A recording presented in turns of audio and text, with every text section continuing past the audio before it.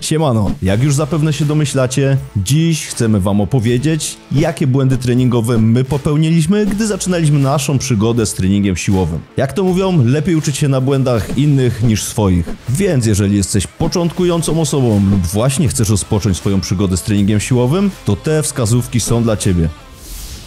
Widzimy się na siłowni w kolejnym odcinku. Dzisiaj pokażę Wam najlepsze ćwiczenia na łapę.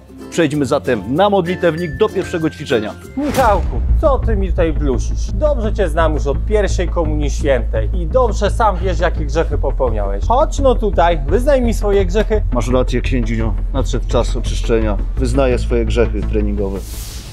Numer jeden. Zapisz się na siłownię. Każdy z nas zaczynał swoją przygodę z treningiem siłowym od przysłowiowej piwnicy z kolegami lub treningów w zaciszu domowym. Taki trening może też być efektywny i oczywiście nie są to złe wybory i miło się wspomina te początki, jednak biorąc pod uwagę efekty, które możesz uzyskać startując od razu na siłowni, która jest w pełni posłużona, a nie posiada tylko ławki do wyciskania z przysłowiowym modlitewnikiem i prostami na nogi, to będzie to zdecydowanie lepsza opcja. Dodatkowym profitem jest również to, że e, możesz poznać tam wiele ciekawych osób, z którymi będziesz mógł wymieniać poglądy na temat treningu siłowego.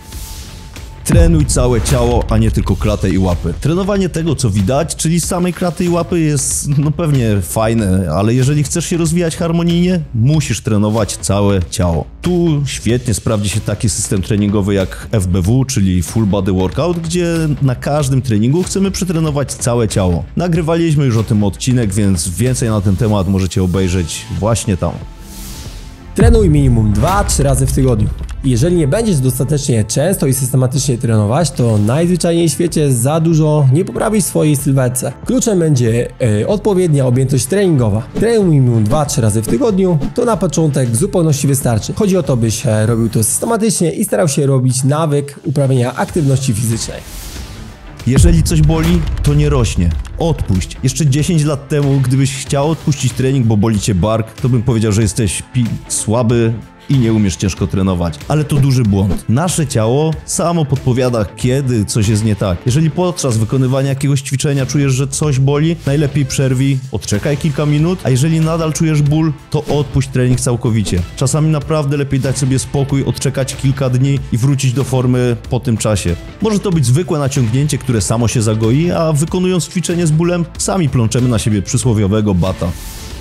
Skup się na technice ćwiczeń. Jak to mówią, jakość, a nie ilość. Tu świetnie sprawdzi się dewiza założyciela szkoły e, Kettlebell Strong First. Ostatnie powtórzenie ma być tak samo jakościowe jak pierwsze. Podpisujemy się pod tym e, obiema rękami, nogami. Może gdybym te 12 lat temu lepiej wykonywał technicznie martwy ciąg, to nie miałbym problemu z plecami przez prawie 2 lata. Teraz na szczęście jest już ok i na QU lata 240 kg. Jeżeli nie wiesz, czy dobrze wykonujesz ćwiczenia, to znajdź w swojej miejscowości ogarniętego trenera, który wszystko Ci wytłumaczy. To będzie zdecydowanie najlepsze rozwiązanie. Dzięki temu zaoszczędzisz swój czas, a Twoje zdrowie również w przyszłości Ci za to podziękuję. Numer 6. Nie pomijaj rozgrzewki. To kolejna sentencja sławnego trenera z USA, Mike'a Boyla. W jednym z wywiadów został zapytany, którą część treningu uważa za najistotniejszą. I bez zastanowienia odpowiedział: rozgrzewka. Nie dość, że minimalizuje ona ryzyko kontuzji, to będziesz mógł podnosić o te parę procent więcej. A jak wykonać prawidłową rozgrzewkę? Możesz sprawdzić również na naszym kanale YouTube'owym. Nie skupiaj się na suplach, tylko na jedzeniu. Co chwilę widzisz w mediach społecznościowych reklamy suplementów, e, diety, które są reklamowane przez kulturystów lub gwiazdy fitness. Myślisz pewnie, że będziesz jak oni, zażywając tylko te suple? Tu cię musimy zmartwić. Oni z tego żyją i poświęcają się temu 24 godziny na dobę. Super tylko 5% Twoich efektów. Skup się na dobrym, jakościowym, nieprzetworzonym jedzeniu. Jedz dużo białka, nie bój się tłuszczy i cukrów i pamiętaj, z kanapki z serem i z szynką po treningu nie dostarczysz zalecanych 20 czy 40 gramów białka. Trenuj w pełnych zakresach ruchu. Pewnie nieraz widziałeś na siłowni typków, którzy chwalili się, że robią po 30 podciągnięć na drążku, a później jak przyszło co do czego, okazuje się, że były to pół podciągnięcia i nie było tam ani jednego pełnego poprawnego ruchu. Trenując w pełnych zakresach, dbasz o mobilność, elastyczność oraz siłę swojego ciała. Pamiętaj, że to, że założysz na sztangę 200 kg i zrobisz ćwierć przysiadu, będzie oznaczało tylko tyle, że łechtasz swoje ego, a nie pracujesz efektywnie. Ale wybór należy do ciebie. Zadbaj o odpowiednią regenerację. Sen, sen i jeszcze raz sen. Musisz spać odpowiednio długo i jakościowo. Imprezując co tydzień sobotę z kumplami, tak naprawdę zabijasz swoje efekty treningowe. Wiem, wiemy co robimy, ponieważ sami tak robiliśmy. Z biegiem czasu w większości przypadków nie było warto.